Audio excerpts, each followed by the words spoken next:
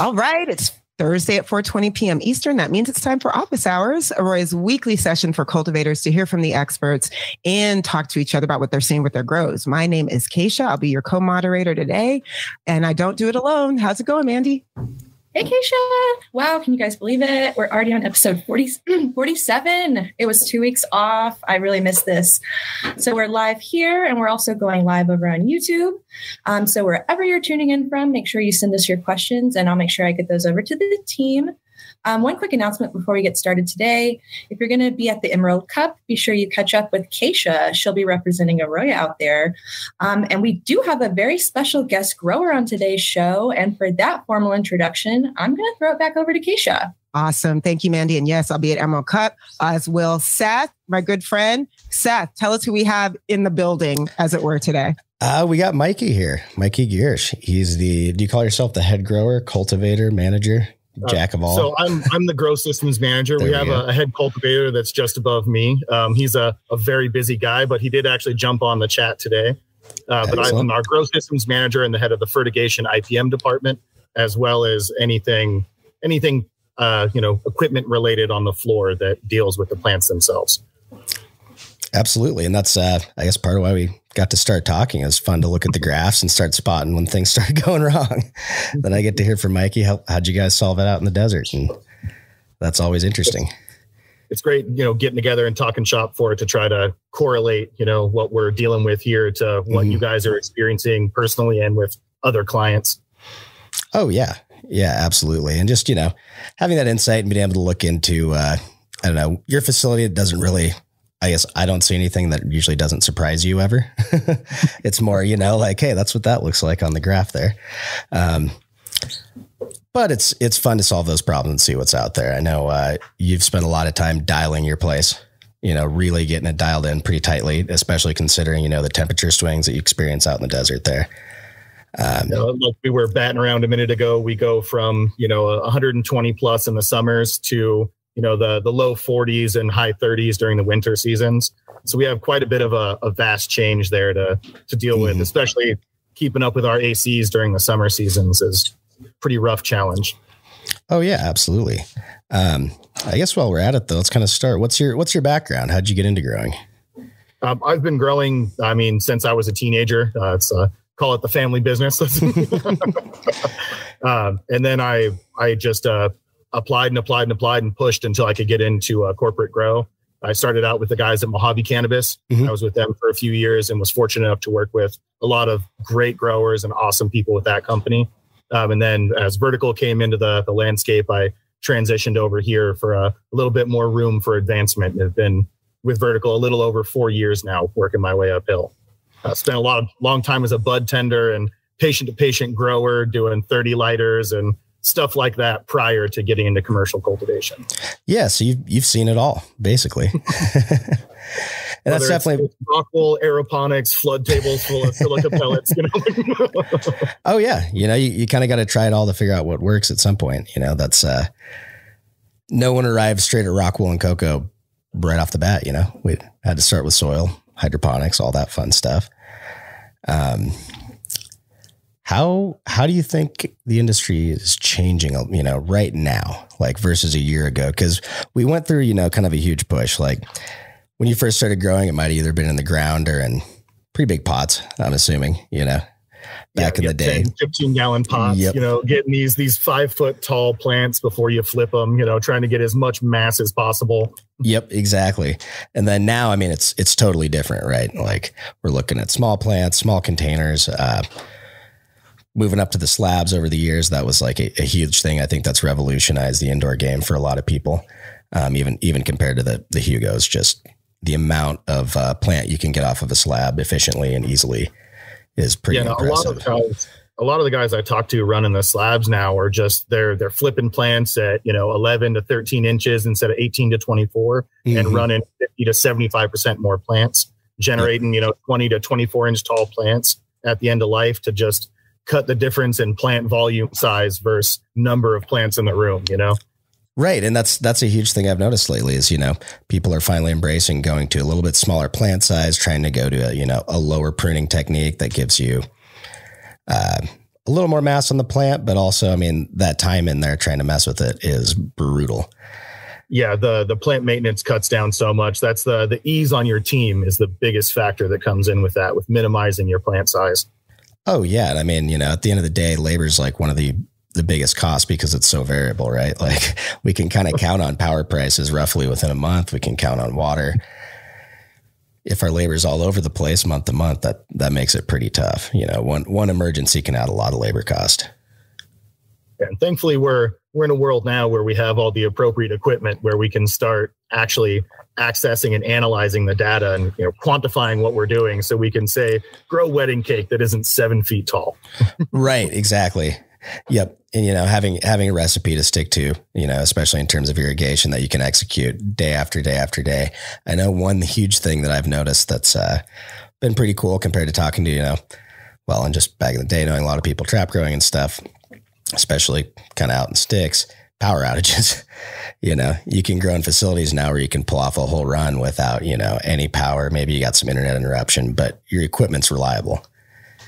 Yeah, the you know? the the infrastructure improvements over the last decade have been phenomenal in Southern mm-hmm. California. I mean, like 10 years ago, we were looking at three day long power outages out here in the Mojave. Right. Like you were lucky if you were able to keep some of your food. You know, it's mm-hmm. 110 out at night. Yeah, exactly. You're like, don't open the freezer.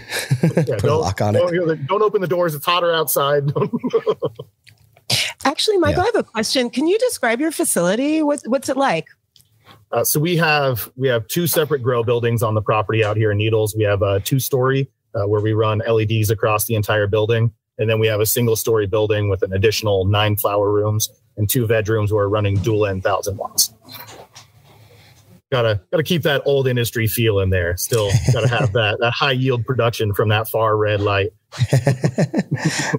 oh, there's nothing wrong with that. it just it feels too good to let go of. Yeah, we. I mean, the LEDs are wonderful, and uh, two thirds of our property is transitioned to LED across mm-hmm. the board. But uh, there's something about those high pressure sodium lights that you just can't let go of yet. oh yeah, yeah, they're a little different, and I mean, I don't know. The, the biggest downside I've seen out of those over the years, and it depends on where you are. You know, obviously the heat, but like, uh, you know, where I'm at in the winter, that's that's pretty welcome. Uh, but you know, um, just just kind of the, the ease of use, and they, they've been around. You know, they're not expensive, and in the world of LEDs too, I find sometimes it's uh everything's so competitive. There's always new tech coming out. At a certain point, it's like what's what's adequate versus what's the pinnacle. Because there's always going to be a shifting pinnacle, but we've always got an adequate baseline that works, right? Yeah. So so far, we've had very good luck with the Gavita 1930s. Mm-hmm. They've been wonderful fixtures for us. The we've had even light production, very little diminishing. You know, in production and for actual you know intensity throughout the rooms over about two and a half years now. We're still running Perfect. pretty strong. We've only lost, I mean, less than two percent fixtures over almost a three year period. Yeah, that's awesome. I think those perform great too, especially when you've got a room that was built for HPS. You got a little bit taller ceiling. It's a it's a better direct bolt in without uh, I don't know. That's always disappointing to see people switch over from a thousand watt HPS to like a seven seven hundred watt LED when they're like, "Oh, I got to lower my lights." And it's like, yeah, you're gonna have to fine tune that now. That's just another thing. So there's definitely merit in using the old tech. Well, at least we're in a world now where people are are more brushed up on what's happening with the lights. So you don't mm-hmm. have. Uh, I mean, early on with LEDs, you had a lot of people purchasing like what they were being sold because there wasn't enough market data on the lights themselves yet. Mm-hmm. So you had a lot of companies producing like 315, 340 watt lights that they were guaranteeing commercial yields with. And a lot of companies got shot in the foot by that early on, buying those 340 watt lights and thinking they were just going to drop them down on top of the canopy and they'd be fine. They got, you know, big veg plants instead, flowers. Oh, yeah. Well, and I mean, yeah, when you look back at it too, you know, they were, they kind of initially put some of those LEDs and even the T5 fixtures in and like, uh, gymnasiums and stuff, you know, arenas because they're replacing HID lighting for like sports arenas, and it looks pretty damn bright in there. you know, it's hard. It's still hard to look at a 350 watt light without glasses on. It's not good for you. But, but if you don't have the the science behind it and have the actual data on what yep. it's putting out, then you, you're not aware that it's it's still too little. oh, absolutely. I mean, the same thing even goes for uh, you know some bigger greenhouse grows where you go and yeah you look up and you're like, wow, the lights are like 14 feet up. Yeah, I get it. that's like where all my purlins are. That's where everything lines up. I can strap them up there and it's easy. But you might want to get a light meter and kind of dial it a little bit, you know. And, and that one's a great rule of thumb for if you can just look up, your lights aren't bright enough. Yep, exactly. Exactly. But, you know, that's uh it's taken more and more science over the years to establish that. You know, we kind of always knew like, hey, you get better production in warmer, brighter climates, right? But greenhouses came along not to be the most controlled indoor environment ever. They've always, you know, until cannabis came along, basically, at least in the US, they've been built to be just enough. You know, what's what's adequate? It's always farmer mentality and that still carries over into cannabis, but we do have a little bit better margin to work with and uh, I think a higher interest in ensuring qu- crop quality compared to a lot of vegetables, for instance. Absolutely. Yeah. And the well, and you look at a lot of the vegetable markets, and there's such a high waste rate for what they produce. Like, I mean, there's there's all these ugly food markets opening up for a reason because yep. a huge majority of what's produced goes to the wayside because it's not even aesthetically pleasing. And then we can move mm-hmm. past the of it that's just goes straight to the garbage because it's not actually adequate in style and fashion. Like it's its construction, its base form is inadequate in size, in flavor, and just overall fucking composition. Right, exactly. So when you're dealing with that kind of market and spoilage, you know, like you can only put so much into a tomato because you know you're going to lose 20 to 30% potentially, depending on where your market is and, you know, your resources to get it off the vine in time. You know, if you've got indeterminate tomatoes and you can't pay harvesters to go out every day, you know, in mid to late summer, like, well, you're going to lose some tomatoes. that's how it goes. Yeah. Well, that's been a, another wonderful thing working with guys like like Josh that's on the the call with us today and learning more about nutrient balances and getting to talk to the guys that have been in the industry, you know, much longer than I have and being able to learn about their experiences and start quantifying what I'm dealing with based on what they're, you know, providing for us. Being able to work with that information moving forward has really been a wonderful fucking thing. oh yeah. Yeah. Having good resources and especially people that are, you know, uh, experienced in what they're, what they're, what you're actually growing specifically. Like with cannabis, there's so many over the years, there's been so many nutrient companies out there. And then there's so many, you know, case specific situations. What's your water quality like? You know, there's certain nutrient lines that like probably are going to be tough to run if you have poor quality or tough to inject. And, and, you know, there are a lot of different problems that can arise from that. Or, you know, just like anytime you can talk to someone who's gone through it before, you don't have to make the same mistakes. That's what I value about meeting with you know, a lot of the older guys. You laugh about irrigation system problems or, oh, yeah, mainly irrigation system problems and water quality issues. You're like, wow, we've got enough background now to uh, actually solve some of these issues. There's resources. We're, we're, past the world of water wands and octo bubblers. Oh, yeah. well, and you know, just e- even injection systems, you know, like if you look at the breadth of designs over like the last 10 years, that every year people are getting better and better. And it's, uh, you know, part of it's because that on a commercial scale, people hadn't been doing it with this small of an injection system indoors, like high volume outdoor, like say some big berry farms or produce farms in Southern California with these huge injection systems when you've got a six inch pipe and a lot of water flowing through it, that's a little bit different mixing. You know, with these smaller systems, it's taken years of people essentially finding all the weak spots. You know, what what is the best way to line your dosatrons up? Yeah. how, I've how seen, much space do you need for appropriate mixing in a half inch line? yeah, yeah, and I've seen I've seen a lot of different solutions to that, screwed to a bunch of different walls, and uh, I can tell you there's a wide range in success. So it's definitely, yeah, it's nice to be able to like have some reliable resources like that. I know Josh and Ramsey help a lot of people out, especially on the nutrient side. And uh, that's great. And it's an awesome resource. Michael, you're, I have another question for you. Um, you're the growth systems manager there, and I'm hearing all, just so far you've talked a little bit about like kind of bridging that gap between like just kind of the the legacy um, techniques and data um, and so I would love to like your your role as growth systems manager. Um, you know, is that part of what you do? Is kind of bring in some recommendations for things to adopt in your facility? Yes, um, our our head cultivator um, Orion Santana does uh, any any calls go through Orion, um, but it's it's my position to try to research and provide the best routes that I can, so that when that call is made, it's one with appropriate research and appropriate backing behind it. And I, as well, it's fortunate he's also an industry, you know, longtime industry grower. Um, has had clone companies in the past. Currently has Orient Orion Genetics. If anybody's looking for some fresh OGs out there, um, but it's it's great to be able to work with him as well. To have somebody else that has a decade plus of experience in the commercial industry to be able to help make these calls with and throw stuff against and have it bounce back. Um, but bringing in new science, bringing in the information from these guys and putting it up against what we're being told from our ground level growers, because working with your team is the only way to succeed at this level. Like having a wonderful team and working with what your team's feeding you is the only way this can work. Um, so a lot of your your ground level guys don't have access to the same information we have right now. They don't, and they don't have the time to get online and research and read. Those guys are busy busting their ass while I'm sitting in a chair, you know.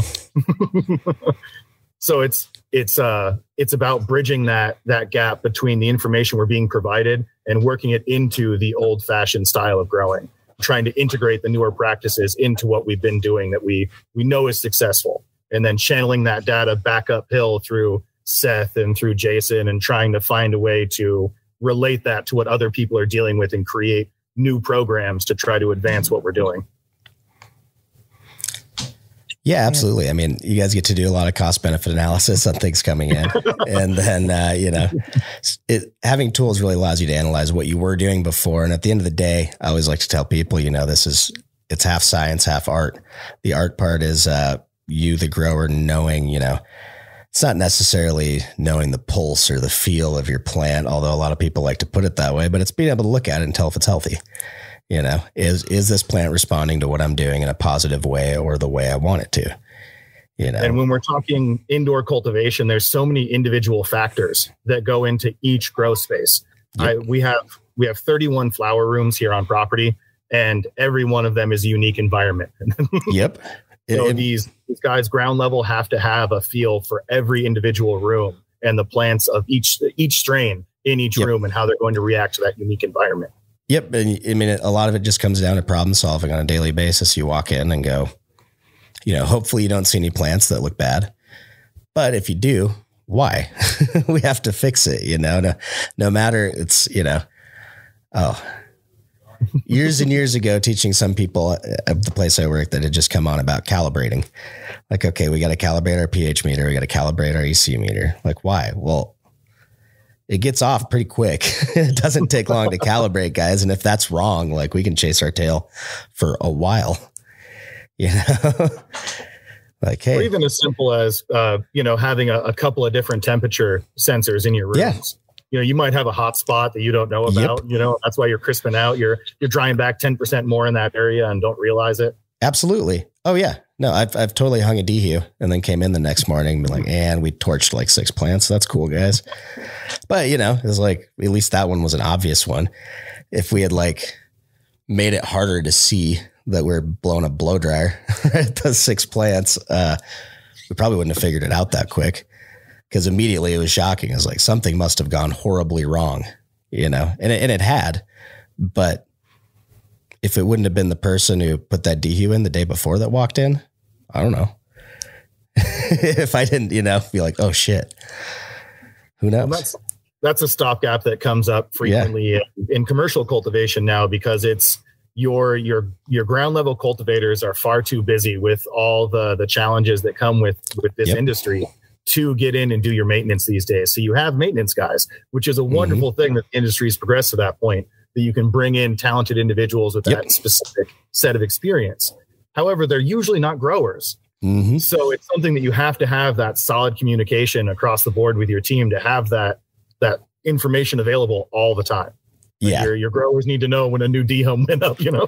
yep. Well, and you know, uh, I think a big thing for a lot of growers and especially their staff is trust, establishing like, hey, if something, you know, looks bad, tell me.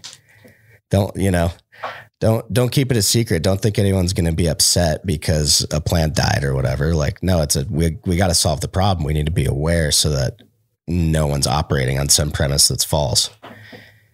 I'd rather dump out 300 gallons of mixed nutrients and have you send a bad mix to a room oh, absolutely. Or, you know, just uh, in my experience, when you have like too complicated of a mix, and you go away for the week and you come back and there's just a pile of powder in the bottom of the res. You're like, okay, so clearly we need to simplify. Six parts is way too many for the weekend crew to mix, I guess. And it, and it sucks that that's reality sometimes, but though those, those are, that's, that's that risk analysis. I guess you're quantifying how much of a risk you want to take when you can simplify and make life easier sometimes. Joshua just posted a comment in the chat. Josh, I don't know if you want to unmute yourself to speak to it, but um, speaking to the importance of calibrating the CO2 sensor too. I'll just read it here. We find so many out there off by 500 plus ppm. Yeah, Josh, you want to go ahead and speak to it? Yeah, no, it was just it, it was a comment when he was talking about calibrating C, uh, sensors. It's that nobody ever thinks to calibrate the CO2 sensor, and we find those off so many times that it's it's pretty crazy.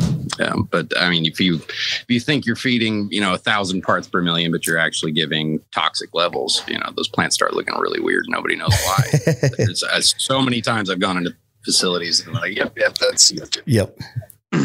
or the other way around. You know, 800 and they're actually giving 200 and the plants are just starving.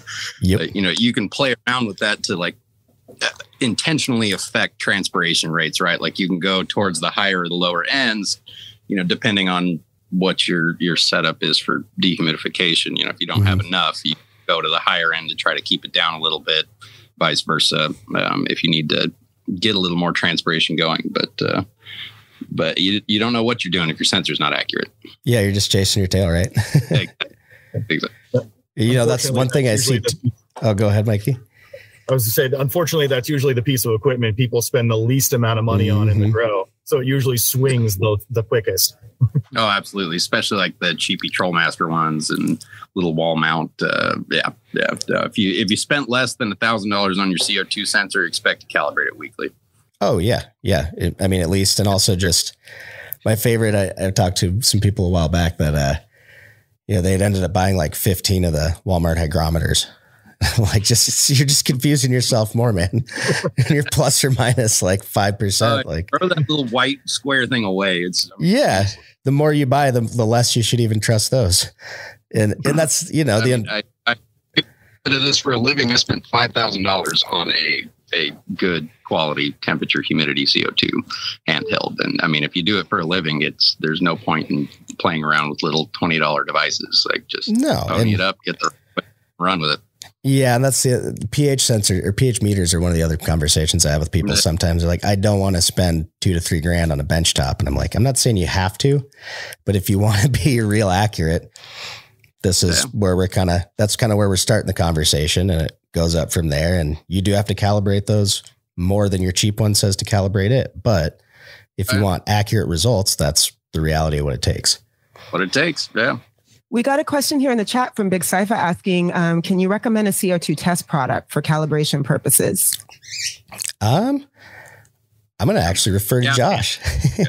yeah, uh, you can you can find um, gas cans out there that are that the the gas inside the little tank is uh, at a at a certain specific part per million. They use Blasted. them for uh, life, the life safety test. So you see, mm. like when you set up a new facility and the fire marshal comes by to do his test on your uh, CO2 life safety equipment, that's what they use. So you can I don't you have to look up where to pick them up, but they, they're out there. Well, there you go. Thanks, awesome. Josh. Appreciate that. I have another question. I'm sorry, I'm a passionate cannabis consumer. So, Michael, I want to hear about those genetics. What's going on over there? Uh, so, uh, being a larger facility, uh, a chunk of what we have to do is cater to what's hot on the market, um, like most people in the commercial industry have to do these days. Um, we are trying to bring in more OGs, try to get some more of that gas back around. Um, like I said, uh, Orion Genetics. Uh, right now, he's working with some some King Louis and some old Star Killers try to bring some of that that old funk back into some of the newer strains. Maybe slap a fresh coat of purple on one of them and get that old nose out with a little exciting color for the market. Um, across the board, like like many people, we're running a lot of gelato related strains right now, and a lot of uh, Runtz, crosses, and you know your your basic staples for the current sales market. Uh, we transitioned away from uh, you know the old fashions your your wedding cakes and things that were previous hot industry staples to try to find something that's a little a little brighter right now just to mm-hmm. keep up with things as we all have to do. have you guys uh, tried to work on bringing the flowering time down on some of those older OGs? Uh, like yeah, that? that's that's something we're we're trying to tune in a little bit, trying to work on uh, whether it's you know uh, a little bit more generative as we come through, like generative a little earlier in the life phase with a little higher light intensity through the finish of the flower, but something to try to increase that maturation a little mm-hmm. faster mm. in those. Try to avoid anything over nine weeks as best we can. Yeah. I mean, that's about all you can do sometimes is kind of select out of there and hope, you know, when you're doing your back crossing, some of them come in a little shorter. But I, I was just curious. That's been kind of my dream for years to really work with some OGs and some diesels and get them down to that eight and a half, nine week range. Um, I, I haven't been able to do it yet with my own crosses. I did some uh, some auto diesels. That was pretty fun, but that doesn't really count. I don't think. not not for a short flowering plan. That's different. I did a, a, lot of playing around for a couple of years with a, a male of a Ken's GDP cut, and that one just I spent too long trying to hunt the perfect pheno and never kept any of it. mm-hmm. Yeah, and that's what happens. I mean, that's uh, one sad thing about you know the way cannabis genetics work. You've got you can go the traditional route with plant breeding, really, really work on some lineages, or uh, man, there's a lot to be said about you know synthetic breeding, basically open pollination in a room for a few cycles and see what you get. It, it might be messy on the paperwork, but you can get some really cool results out of it. So yeah, it's I guess it has a lot in common with apple breeding. you know, but I, I always think that's fun. Pheno hunting's a blast.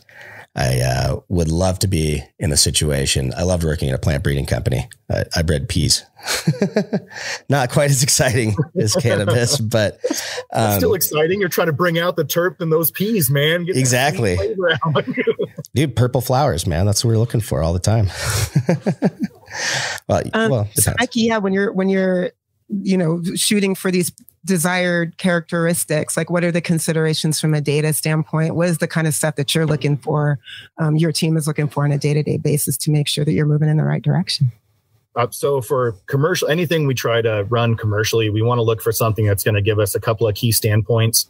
Uh, we want something that's going to have uh, a bright enough terp profile that it's going to hold in a jar for a while I mean, we're all we're all competing on shelves in the end game, so we have to have a product that after a little while is sitting on the shelf, and you crack that open, you're still going to get that bright floral aroma flowing out at you. Um, and a lot of these these wonderful strains we've been running for a long time are only good from your trapper because you got it six weeks after harvest at best. and with the current cannabis industry, it just doesn't doesn't work out that that's how quick that flower gets to the consumer. Uh, mm-hmm. It typically takes you know three months is a very short period of time in the current industry for your product to hit a shelf. And more likely you're looking at six months. So we need something that's going to have a bright enough terp profile and a strong enough terp profile to hold through that period of time. And then something with a, a well enough consistency in the bud structure and in our overall flavor for the smoke that the consumer is going to want to come back and grab another one. Uh, so I mean, like I said, a lot of gelatos. It's a wonderful base strain. It's, it's got a, a, real bright floral, fruity terp profile, little bit of purple, frosty as hell. I can comment Kaisha, and say anything that they that makes it to the point of going through that QA test. Um, it's probably looked pretty reasonable on the graph if they've had a, a sensor in it. You know, if they've blown it up to the point where they're trialing it, I know that's a consideration they're looking at as well. Like, is this a plant that's reasonable to grow, or are we breaking our butt to uh, just keep it alive here? You know, there are some finicky plants that you're pheno hunting just do not work in your facility like they can if you can run that whole room at that pheno. But yeah, fortunately, having the number of flower rooms we do, we are able to monocrop most mm, of our rooms. Yeah, that's uh, awesome. However, it's still uh, it, it is the trick, like you said, of finding the uh, the the best strains to produce enough volume and still hit those other standpoints for you. Like it has mm. to have all the all the ticked factors for the consumer, but it still has to produce a volume to make the corporate office happy. Uh, we we still have to make money and keep the lights on, right? Like oh yeah, everybody wants to go home with a little money at the end of the day. oh, absolutely. I've grown some great some strains that I personally love to smoke that are semi dwarfs, or at least the phenos that I ran into, and that don't work on a commercial basis. Why? Because you veg them for five weeks and they still don't get very big. They're just a semi dwarf plant. They won't get big. So they're not really worth it. Um, However, we might be hitting a point soon where there is that, you know, heirloom market for the home grower, which is I'm I'm excited for. I think we're going to see a lot of a lot of stuff re- resurface from there, and then maybe allow some breeders to kind of push some popularity there that they can then push out into the commercial market from there. I'm seeing a lot of the guys bring in, you know, widows and trying to find the old skunks and get them mm-hmm. thrown back at the bottom end of their lines as best they can to bring that old flavor back into things, get that brightness back out. Mm-hmm. Oh yeah, it's out there, and you know, I mean, some of these traits when you start to look, I noticed uh, Big Siphy asked about uh, good breeding info resources for a beginning breeder. Uh, just classic Mendelian genetics. Just look at a book about basic plant breeding. Go back. Uh, to Gregor Mendel. it's pretty pretty simple and take it from there. And then when you study it more, you'll learn about you know things like genetic recombination and you know gene linkage, things like that. Where does it actually apply to you as a breeder? It's learning about those statistics and trying to figure out okay, can I predict based on the lineage I'm looking at? Will I be able to predictably make a cross? And if I make that cross, will um, the trait? Excuse me. Try not to sneeze. will the uh, trait I'm looking for be one in ten? One in 20, one in 240, one in 10,000, you know? And that's where things are starting to get super exciting for cannabis, I think, is uh, we're working towards being able to search for those one in 10,000 phenos, like actually do a synthetic out to F4 and say, all right, we're doing a 10,000 seed run here. Hopefully, we got one of the perfect expression that we're looking for. Um, money's making that hard for people right now, but we're getting there. I, I, think you give it another five, ten years, and uh, there's going to be a better legal structure for breeders, especially if we get some federal legalization. Better legal structure for breeders to actually, you know, create IP and protect it in a more real way. Right now, like with licensing agreements, you can do a little bit, but at the end of the day, we we need Supreme Court backing to finalize those property rights. Well, and with the way that the the market's going for for large scale cultivation right now, where I think we're pretty quickly here in the next couple of years going to see a transition where we have our you know your Budweisers of cannabis and your your micro brews of cannabis. Oh yeah, you're going to have your your small you know garage style grows that are producing your your micro brew cannabis that's coming out at a boutique quality level, and then mm-hmm. we're going to have a lot of mass scale corporate cannabis that's competing with each other for you know the the middle or the low end of that boutique scale. Yeah. One thing I do think that's it's going to be interesting though, at least that I see on the genetic side is when we're talking about, you know, like uh, breweries, for instance, a lot of those breweries, big and small, depending on, you know, if they're brewing, you know, I mean, obviously you got your, your Coors, your Budweiser or whatever, that's, you know, they're brewing like just lagers and super cheap ingredients.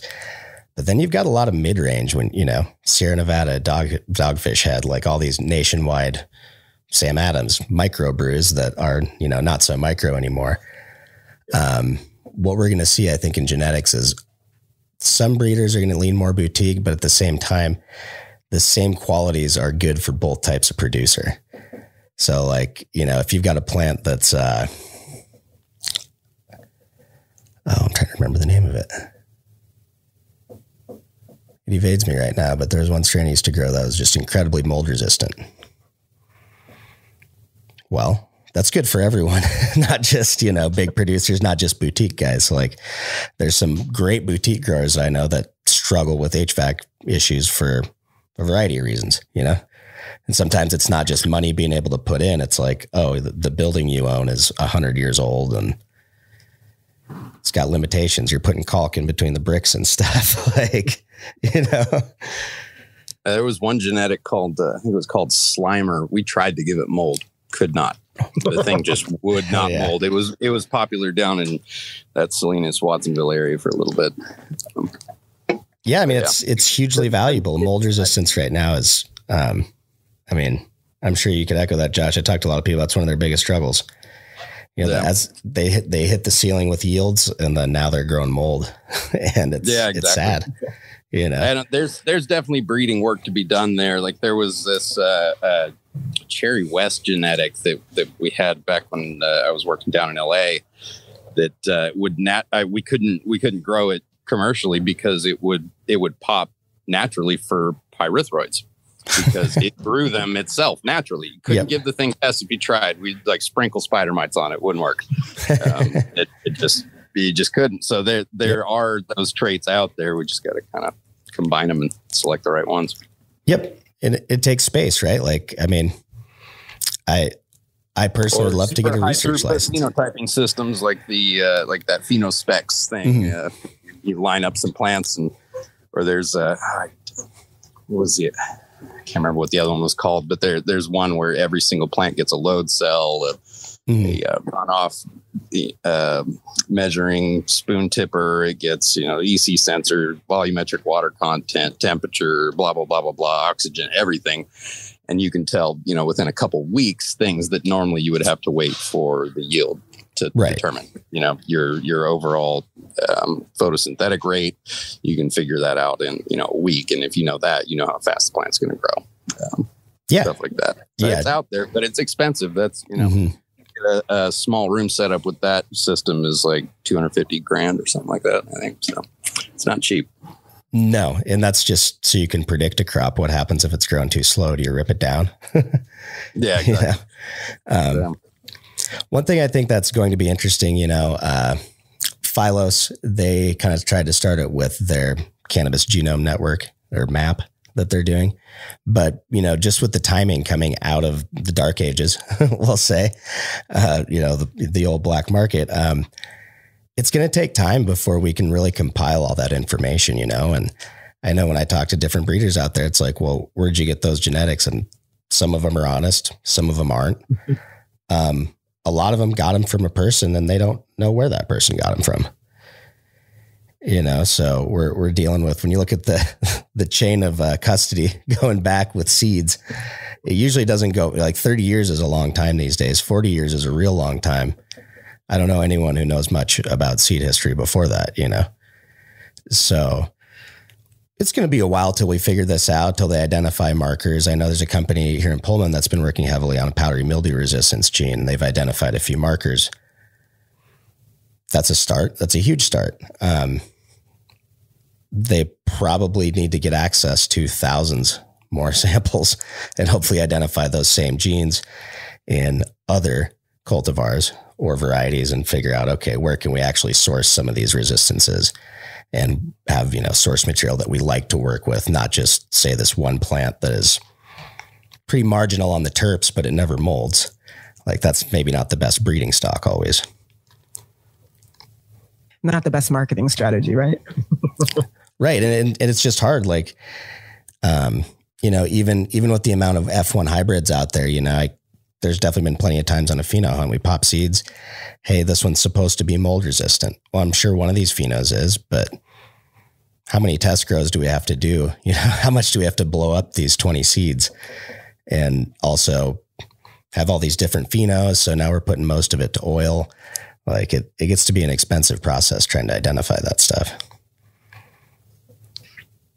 It's all about playing that long game. Um, Michael, I have one more question for you, and then if if you and Seth are, are, down to answer some of the live questions we came in, we'd love to hear your feedback. But um, you know, you got into cannabis uh, as a teenager. You're you're doing it at Vertical. We're in California. It's been a wild couple years. 2022 2022 has been crazy. Just like wondering what your any any uh, good any advice you'd want to share with the folks out there just to kind of keep them hanging on and and hang in there and looking forward to the future just keep pushing forward man it's it's all we can do in this industry is just keep pushing forward and you have to weather the storm right now and trust that there's enough of us that care about the industry moving forward in a quality way with good product and appeasing the consumers as patients because that's where it all starts is you know flower medicine man you know trying to keep people moving forward in a healthy way you know even if that even if that's mental health and you're just trying to chill out, you know, like that's still a necessity. And that's a little better for your body than booze, in my opinion, you know? oh, absolutely. Yes. There's there's enough of us pushing to to keep this uh, a quality industry and to stay away from the you know your your base corporate standards that a lot of the other industries have fallen victim to, where it's about higher production and lower quality at all costs. You know. Yeah, I'd, I'd, like to echo that. You know, I do a, a, fair bit of work in Canada, And that's what we've seen up there. You know, Canada obviously has a much smaller population than like even California. But, you know, they had when it when they when they legalized it was federal. So all the provinces got it. Well, green explosion, a bunch of these big commercial operations did not put out quality. They went for quantity, market got flooded.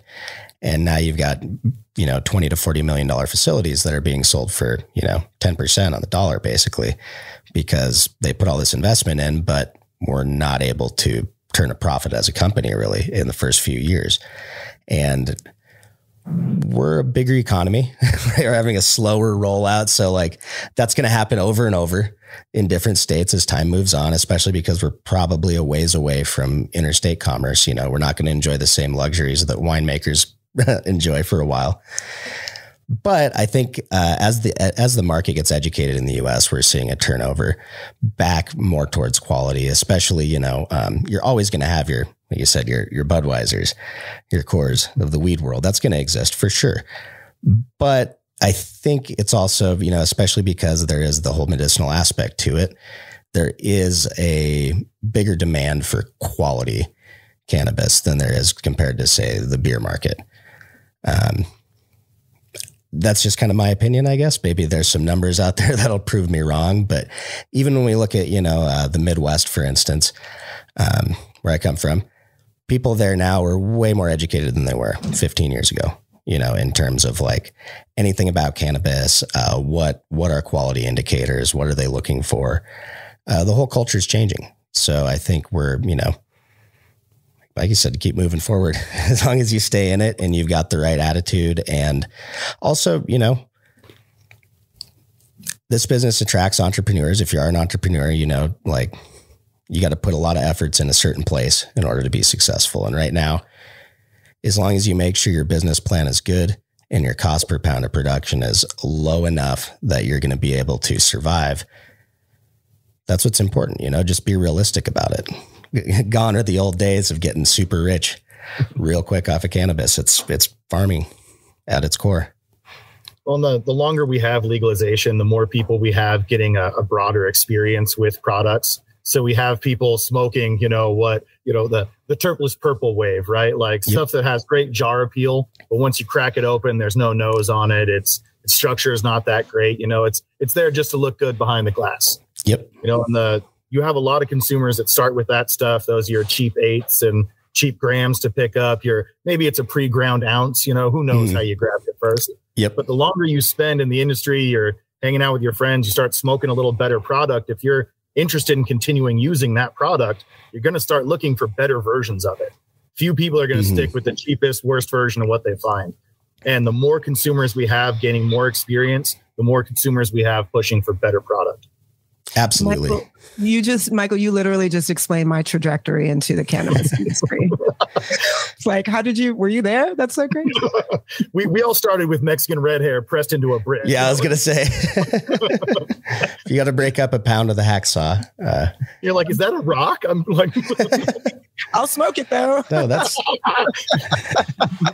you guys, I'm in Texas. It's still too real for me. So come on, come on, it's too soon.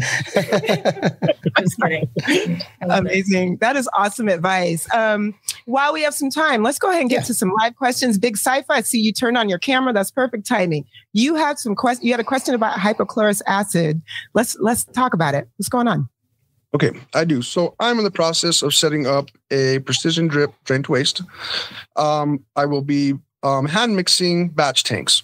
And my question about hypochlorous was how long does it stay active in a solution in your batch tank?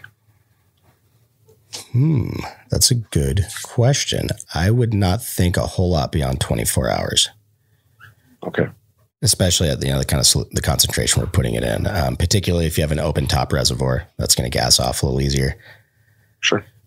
And like okay. at, at, our facility, we're we're manufacturing it on site, so we don't have the the excess binders that are in a lot of your commercially purchased products. So we have typically less than 24 hours okay. to get that run through because we're we're venting that a lot faster. I see. So would you recommend using that? Like for you know, they, they talk about using it for um, adding uh, adding oxygen to your reservoir.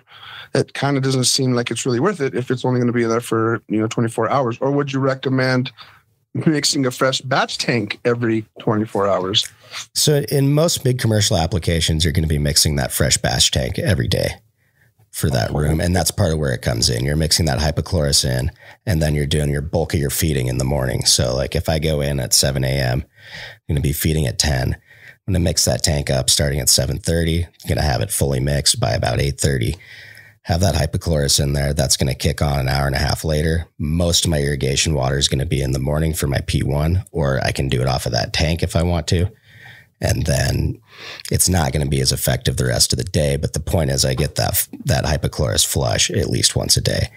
Um, if you're not going to be, you know, if in your situation that tanks that res is going to last several days, you might not need to add it every day. you know, yeah, add it no, that once, make sure you run it.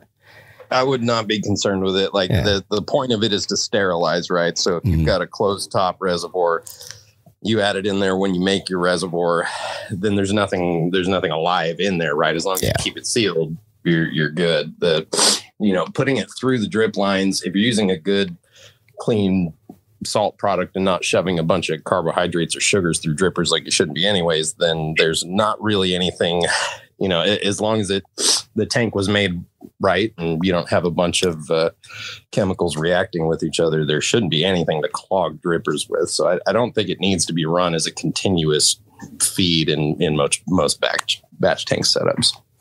Fantastic. Yeah. That is awesome clarification. I will be using Athena Pro also. Cool. So, and no, no extras. Perfect. Why? No, I'm just kidding. Keep, well, here's the other thing.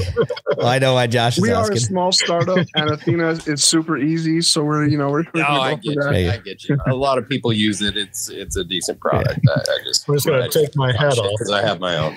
Uh, uh, big siphon, big thing though. Make sure your res is in a dark spot if you've got light on that and it's it's you're staying mixed for a few days, it'll definitely grow some algae and a few other nasties in there, especially if you have you know not a good seal on it. Um, and it does have its own room, so that won't perfect. That's going to be awesome. pretty good. Yeah, especially if you can keep that temp under 70 degrees. You know, if your feed water is 60, 65 or so, you'll be golden on that. Yeah, or just wrap it or something.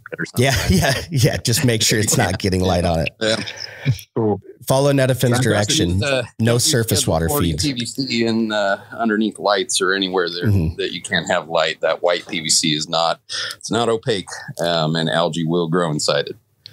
Um, so if, if you do have Schedule 40 pipe already and you don't feel like ripping it all out and uh, putting in Schedule 80, then uh, you can just get any color latex based paint long as it's latex based, you can use white even uh, just paint that pipe. It'll block the light. Right. And I did go schedule 80, so that is good. Sweet. Ah, perfect. There you go. Thank you guys. Why, that's why we run the hypochlorous acid daily in our drip lines is to avoid the buildup of biofilm in our white mm. PVC lines. yep. Uh, okay. Perfect. Yep. Yep. Perfect. If you got white. It's it's tough, but you know, painting that would be uh, be something I'd put on the to do list for sure. Yep, that's a great idea, Josh. I like it. Thank you That's much, guys. I always appreciate your help. A lot of uh, a lot of farmers out there in regular ag went with the you know the cheap, not even Schedule 40, but you know like yeah. IPS 120 or something like that, 125, and you know we we'd get all kinds of calls when I worked at uh, Net. If my drippers are clogged, your guys' drippers suck, and you go out there, yep, they they got an algae farm in their pipe, so yeah, it's all over. Yep. Well, and you know, you, if you have any light in there, we got a hot nutrient soup out there. light and contamination oh, are enemies especially if you're growing cannabis and you have kind of a higher phosphorus level, you know, those mm. algal blooms hurt in rivers and whatnot. But, you know, the higher your phosphorus load is, the faster that algae grows. Yep. Exactly. Oh my gosh, amazing. Big cipher. Thank you for that question. But also, we legit have three experts on today. Orion logged in. I don't know if we can say we have four experts. I don't know if Ryan wants to say anything today. But Mandy, I know we've got some questions in our YouTube. We want to get to get those taken care of today. I'm going to throw it over to you. Oh, yeah, it's been pretty hot over on YouTube. Um, so I'm going to hop into these. Dr. J303 wrote in I don't keep mothers, so I have to veg for six weeks. How can I slow their growth to control height? Lower temps, uh, less intense light's probably going to make them stretch, but if you're he's going from seed, is what I presume he's saying. If he has to do a six week veg, or are you cutting off your last round before you flip them? Is that where we're at with it? Um, well, let's see if they write in with a little bit more context. Um, but we did have a couple other questions, and I'll go ahead and move on to those. Um, so, yeah, Air Expansion Paragliding wrote in Hi, I'd love to talk about CO2. Uh, their first question is it beneficial to exhaust CO2 out of a room uh, during the dark cycle in flower?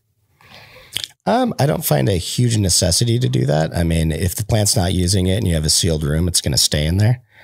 Um, it's obviously not going to use as much CO2 at night because we don't have photosynthesis happening, but I don't really see a point in wasting it. Uh, as a greenhouse grower, I would have loved to have been able to not exhaust CO2. So I could be fairly biased in that. Yeah, if, if it gets to the extreme, you can have problems just with the, you know, when the lights first fire up, um, they, they may just keep their stomata closed entirely if that CO2 gets to toxic levels um, after they've woken up. So it, it depends. You know, if you're over 3000, sure. Think it out. If you're, you know, if you, if it's getting up to you know 1500, 1800, don't worry about it. yeah, that, and that goes back to calibrate your sensors, right, Josh? oh, 100 percent. You know, absolutely. You know, and, and you know, um, we are hitting a point in time where hopefully you can uh, direct inject CO two and not use burners. I've definitely seen my fair share of problems with burners and uh, them going a little wild. Oh yeah, not burning the gas right. Exactly. Carbon yeah. monoxide and all kinds of other shit in there that causes your plants to to go uh, crazy. But uh, yeah, uh, um, and the people you know, there. that you heard of those uh, that ag gas company? They they basically do the old greenhouse trick that, that I used to do at uh, at Netafim when we were building international houses. It was uh, you you take basically drip tape, but the the heavier wall, you know, like they use in uh, orchards and whatnot, mm-hmm. for for you know twenty year uh, drip tubing, and uh, run that through the top of the canopy and then have the uh, CO2 gas mm. uh, run through those drip tubes because they, they do regulate the flow of gas just like they do the flow of water. So you get mm. a pretty even distribution and it gets dumped right into the canopy um, so that it doesn't. Uh, it doesn't just go off into the into the exhaust. And I mean, we've even uh, we did it outside a couple times with actually good results. I mean, interesting. If, if, you get a real still day and you pump it out, you know, a couple times throughout the day and and let them have just that little bit more, it, it does hmm. make a difference. So that's uh, it's an interesting interesting thought to you know be putting CO2 out where the air exchange is happening every hour, but uh, but eh, it, it, does work and CO2 is cheap. I've talked to uh, a few guys who have done the drip tape tr- trick with mixed results. Um, however, sometimes I wonder how bad their temperature stratification is in different greenhouses too you know, uh, whether you have sensors. Yeah, probably. If you if you have one in a you know five thousand square foot bay, they have one temperature sensor yeah. controlling everything. It's like, come on, guys. Yeah, exactly. And how how well does that stay put? You know, if you've got twenty foot long greenhouse, because they didn't know the first thing about designing for wet walls. You know? Yeah. yep. And I mean, you know, that's that's what you see out there. I mean, one thing I will definitely say is. uh the cannabis market has kind of uh, caused everyone to rethink how we go about HVAC control in you know growing systems. Yeah, well, and like you said earlier, the uh, you know greenhouses in the U.S. Uh, for traditional ag, you know, up up until you know very well, other than you know like Houwelings and stuff like mm-hmm. that, the the greenhouse industry in the U.S. is just like you said, it's just barely good enough, right? They just they're just trying to keep rain off it for the most part because uh, yep. the the climate here is so mild that we don't need high tech good greenhouse designs. But you go you go to other parts of the world, and I mean the greenhouse can keep a tighter climate than we can indoors. Um, yep. It just depends on the style, especially those semi closed greenhouses like the Houwelings one. They they tried to patent with Kubo or whatever the uh, mm-hmm. Optic Climate or whatever it is. Um, but uh, I mean, you you can get a better result that way because you have constantly perfectly conditioned air just mm-hmm. being blown up past the plants every second of the day. Um, so it, there's definitely uh, some new technology that cannabis is helping uh, make more widely available and widely known to the ag industry as well. it's pretty cool. Oh yeah, I mean, you know, before getting into cannabis, the only blackout greenhouse I'd I had seen, well, outside of you know research at universities, was uh, moms, uh, poinsettias actually. Oh yeah, okay. up here in the northwest, they're a big one. Um, and guess yeah, what? For sure, those people haven't switched to growing weed. they still make a lot of money on poinsettias. Oh yeah, they'll make they'll make more on that long term than we probably will. Yeah, yeah. Oh, is that where the real money is? Oh wow. Well, they they have access to banks. Specialty crops that do that do far better than, yeah. Than cannabis as far as you know profit per pound. Um, some of them the labor gets great, like saffron or something. Mm-hmm. You can't grow it here because the labor is just too expensive. You, it all has to be harvested by hand. Um, yep, very true. So, oh man, yeah. the amount of experience in this room you guys know this is amazing. I love the energy and thank you guys for sharing all of your experience with this. We have so many topics um, going on, but oh my gosh, sorry, we have a lot of questions. Um, we had a second follow up question from Air Expansion.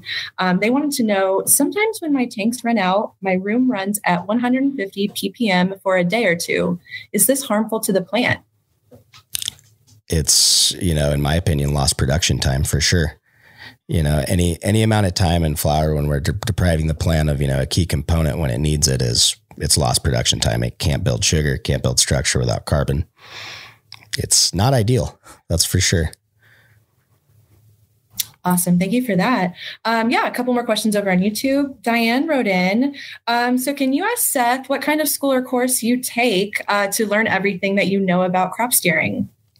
What kind of resources do you have uh, at your disposal or uh, what kind of schooling did you go to? Um, well, I have a degree in plant science and horticulture with an emphasis in urban agriculture. So that is pretty specific for high intensity urban farming. That was helpful. Before that, I worked in research for, well, and during for about seven years, uh, working with breeding peas, garbanzo beans, wheat, and then doing agronomy trials on field crops. So you stare at a lot of dirt and you mix fertilizer with the dirt and you plant seeds in it and then you harvest a lot of seeds every year. but then beyond that, you know, going into greenhouse cannabis production, well, starting in my basement, like a lot of us do, and then moving up into commercial production when I had the opportunity and staying in that for about four years. Um, what that allowed me to do was look at a lot of what I knew about plant science and production techniques in vegetables and other high intensity crops and then start to apply those to cannabis and know what I was looking for in terms of plant morphology responses, you know, and that I feel like is what really allowed a lot of this stuff to kind of click for me. Like, hey, here's what's going on. And then also, uh, the biggest thing I, I think that helped me was working in plant research, particularly agronomy previously, and being forced to, you know, I mean, the way I found out about Meter Group in AROYA was years before I got into cannabis, I would install remote weather stations in wheat and barley fields using meter data loggers and transmitters and sensors. So for me, it was like, okay, we come in. If we have so much control, we can put this on a very, very, you know, rigorous system. We can run a program very easily all the way through. Maybe not easily, easier said than done but now we can look back at data from a whole run and quantify those results. We can actually pinpoint where we messed up and what we had success with. And that was something when I first came into the cannabis industry, I found, uh, at least with the people I was working with, the tendency was to be reactive because we're always stressed about that next, you know, the sale of this crop, basically. Everyone wants to fix, like, oh, something's wrong. We got to fix it. We got to fix it. We got to fix it. And um, learning to step back, do good crop registration, collect as much data, and look at a whole run. I think is what really uh, got me here, and then everything else kind of follows. You start noticing all kinds of small, different details, and uh, yeah, that's that's about it. You know, you, you can have the education, but you've also got to have the experience. Again, it's it's half science and half art, so you've got to study and you've got to apply. Awesome. Thank you for that. Um, Diane also had a follow up question. Um, can you give me more information about PGR? Um, and is it going to pass cannabis lab tests? What do you think about that? I don't know, Mikey. Do you, I don't think anyone tests for PGRs that I've really seen out there. Um, I don't. As far as I'm aware, oh, yeah. California is one do of they, the most Josh? What do they test for specifically? Do you know? Well, like like Paclo or something like you know the, oh, yeah. the ones that everybody knows about the Phosphoload, shit like that. Yeah. Um, I mean, I've seen people use the chlormequat chloride, which was a portion of what was in uh, that that Phosphoload. That that plus Paclo was basically what it was. Um, but Mm. there there are some out there that the only ones that that I, I would ever be okay with anyone using though is like like the kelp one. You know, just spraying kelp. It's it's got natural. Um, uh, amino acids and whatever in it that uh, basically does kind of the same thing. But at the, most of those PGRs are all about stopping vertical growth. We have we have better ways of doing that with crop steering than we do with PGR. Like I can get a plant Exactly. to stop to stop growing vertically a lot faster with with steering than I can with a PGR. So it's you know Yep. And that's um, I, I never personally got to use them. I, I was, you know, I, I didn't talk about my growing forever until I got into the, you know, commercial industry really. So I, I didn't even know what, what uh, Phosphoload was. I thought I always thought it was just watered down monopotassium phosphate. So I never bought it. Yeah. but, uh, you know, so I never got to really see like what, uh, you know, how how fast it does stop that stretch. But I, you know, I have to imagine if I can get it to slow down to you know less than than an inch every couple of days, then that's uh, that's pretty good. Yeah, and you know when we talk about applying those, my big experience with PGRs has been in uh, tissue culture, actually. And one thing about it, um, Oh, that's different. when well, one thing about it though, when you apply any of those to the surface of a plant, you know, especially a more mature plant, infiltration of those hormones or PGRs into the plant is actually pretty slow. So like it's like foliar applications. Can we get some things on in a foliar application? Yes. Is it as effective as through the roots? No. And with those sprayed on PGRs, you're affecting those surface cells, but to actually get them to penetrate and slow down stretch, like Josh said, you're going to be way more effective through crop steering and modulating what the plant's doing that way because that is affecting that affect PGR condition. yeah. We we can affect those hormones, you know, other ways without using chemicals that are actually usually more effective. Exactly. Kind of the whole PGR thing. People think it's like a magic chemical you throw on there and it's going to make everything better, but usually it turns your product dog shit anyways. So it's kind of uh, uh, Yep. you don't really you don't really want to. And if we can use steering to get the plant to do what we want while still maintaining the best quality possible and keeping it clean and not giving anybody cancer, might as well, right? Exactly. And, you know, I mean, it even comes down to like if we're trying to control powdery mildew or botrytis by some late flower spray. Anytime I put any kind of spray on, especially if it's got an oil, an enzyme, anything else, I might have a surfactant, um, some other sort of dispersal agent. I'm spraying quite a few things on that I probably don't need people smoking. You No, know, exactly. Like- yeah, I don't spray anything after uh, after week three, week four ish. You know, Right. Just, just It- don't do it. I love the argument. What if it's Everything works. peppermint oil? It's like, you want that on your weed? You know, it's Little still, Christmas bud. yeah, I'm not trying to smoke peppermint. You know, exactly. It's fun. You guys, I'm so glad that growers out there care about this stuff these days because um, in the past it hasn't been so much. Um, so yeah, we still had some I like to smoke over- my own. You kind of have to. I don't I can only smoke it, imagine. I'm not going to make anybody else do it. You know. exactly. You have high standards for a reason. Um, yeah, so we had a couple more questions over on YouTube. Uh, Kevin wants to know what would you do differently to try to have bud sites pop in early flower? I'm on day 22. VPD is at 1.3, 5 to 6 EC, 5.8 pH light is at 60 60% um, and it says 345 watts or three uh, sorry 645 watts um, eight inches away hard drybacks but only one plant out of 17 are showing do you have any advice Turn for those lights up. Yeah, I was going to say. Turn the like, lights up. Get it? No, there's there's really the dimming thing is is a big.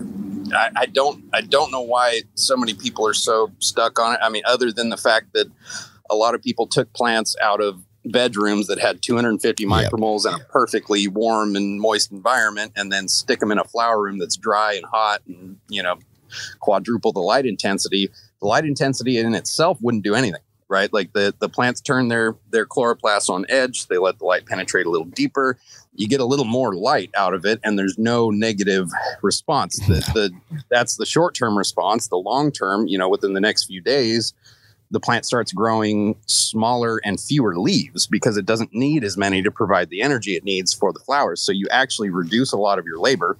You're not going to have to pull off as many leaves. You're not going to have giant leaves shading your your buds. Mm-hmm. And if you leave that plant untopped, that naturally open structure of the plantlets is much light down in there as you need. We take like maybe five leaves off each plant, if that, during mm-hmm. the uh, you know, right after stretch, and then we don't touch them again until harvest, basically. And, but if you, you know, you have these low light levels on it, you're going to have slow metabolism, you're going to have slow growth, you're going to have stretchy growth, and you're not going to get a lot of bud sites because the the plant doesn't just doesn't have the energy for it. Um, so yeah, yeah, turn turning the lights up would definitely uh, would definitely help, and you know, don't worry about it causing them to get too big because typically when you know if you have low light intensity you know starting out say we start out two plants same height you put one under low light intensity it's going to stretch up super far looking for that light you're going to have a bunch of giant leaves that it because it's trying to capture as much radiation as it can mm. if you mm. put you know the other plant under you know twice the light intensity it's going to grow half as many leaves it's going to grow more bud sites because it has the energy to even with those fewer leaves and you're not going to have as much shade going on and you're not going to have as much stretching. You'll also you know keep the the top cola down because it's so it's closer to that that light intensity and you, the uh, the side branches will reach to catch up and then you wind up with that kind of menorah shape people are going for anyways with the topping but without having to touch your plants. And every time you touch your plants that's another possible vector for disease and pests. Mm-hmm. so that you know in, in, lettuce they count the touches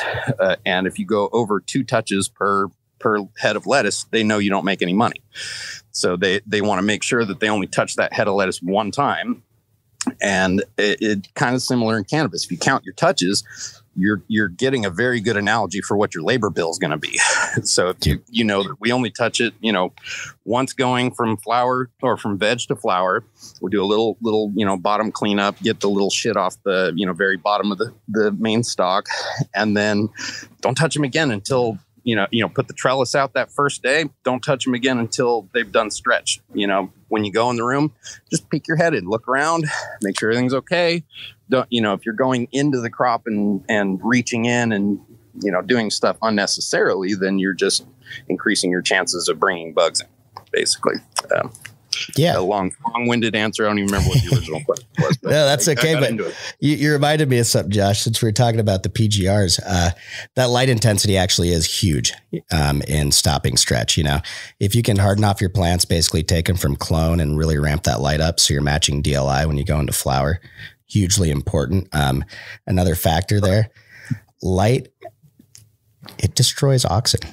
That's why phototropism works. So when you have your apically dominant bud, that produces the most auxin out of any of those buds on the or any of those branches on the plant. If that's light light is blasting it, that's actually slowing down that auxin production.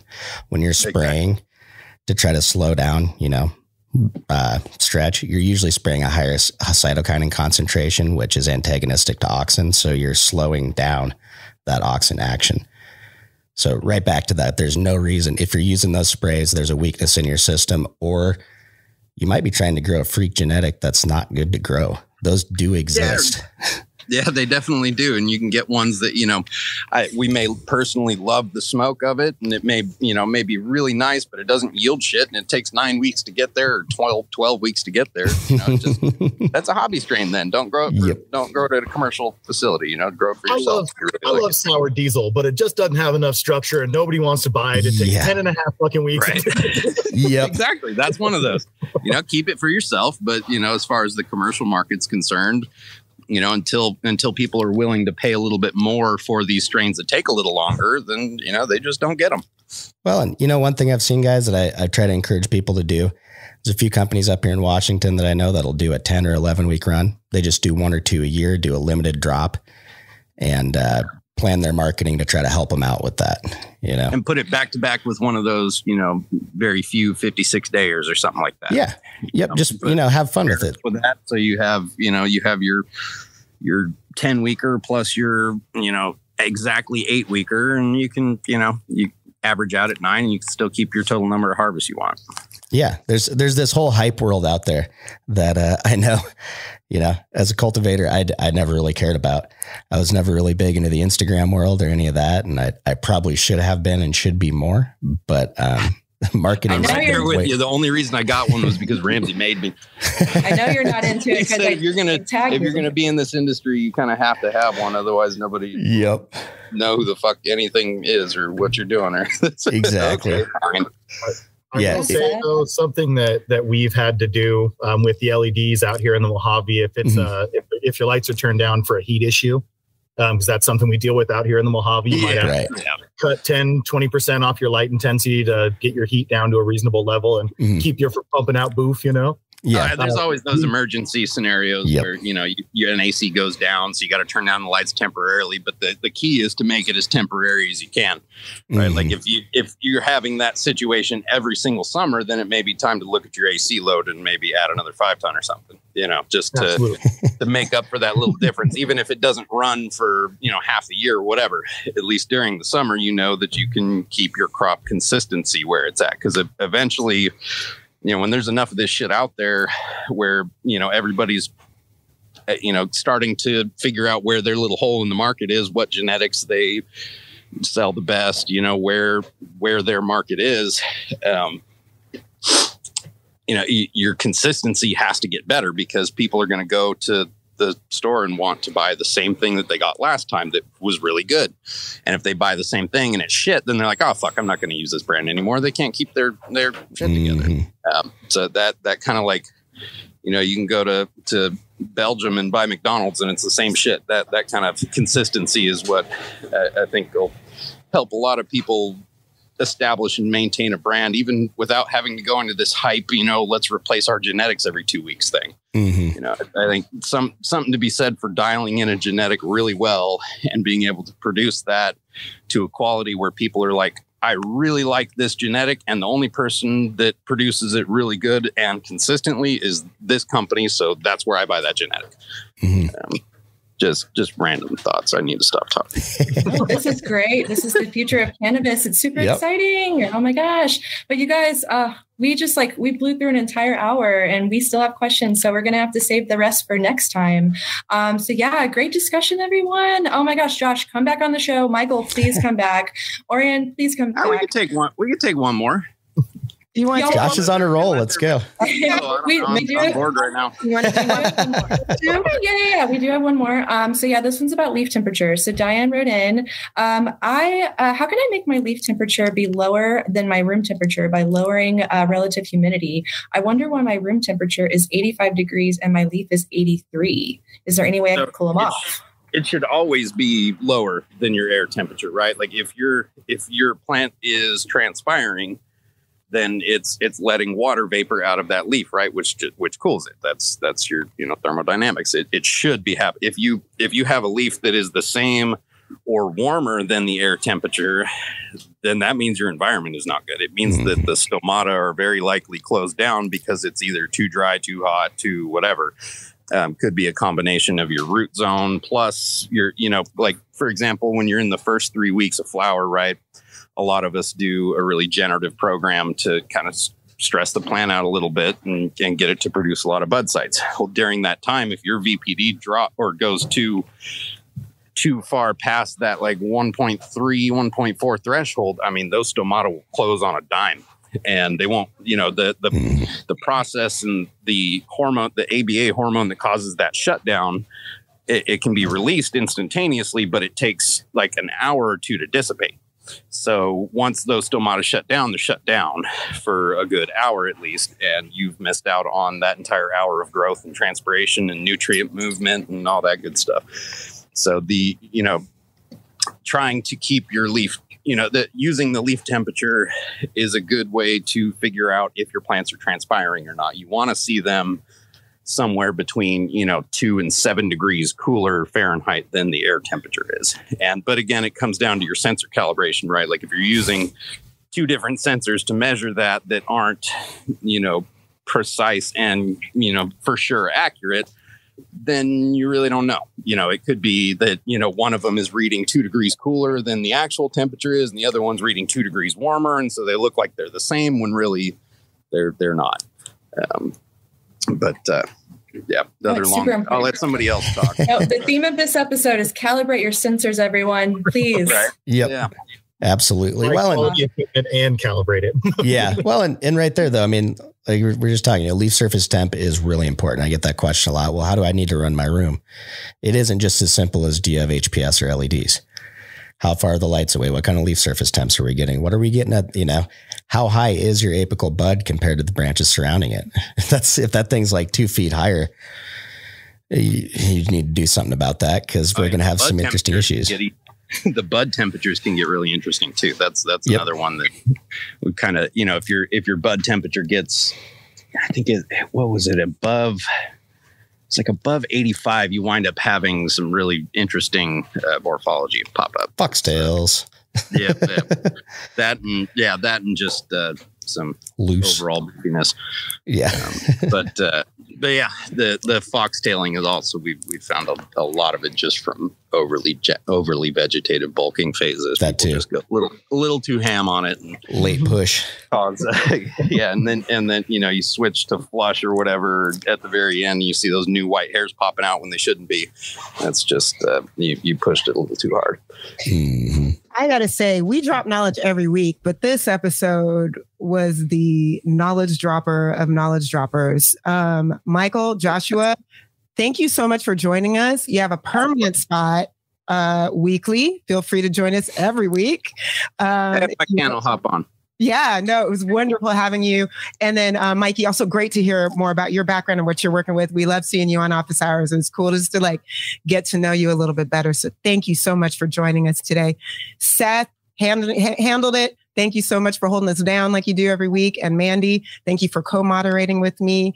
We're going to wrap this up. Uh, thank you to everybody who joined us for this week's uh, Office Hours. We do this every Thursday. And the best way to get answers from the experts is to join us live. Remind, reminder, um, if you have a topic you'd like covered in a future Office Hours session, post it anytime via the AROYA app. You can drop them in the chat live, shoot us an email to support aroya at metergroup.com. Send us a DM over Instagram. We are also on TikTok. We are everywhere. So just send us a note. Let us know what's going on, what you want to know about. We record every session. We'll email everybody in attendance a link to the video from today. It'll also be on the AROYA YouTube channel. Like, subscribe, and share while you're there. And if you find these conversations helpful, please do spread the word. Thank you all so much. We'll see you next week.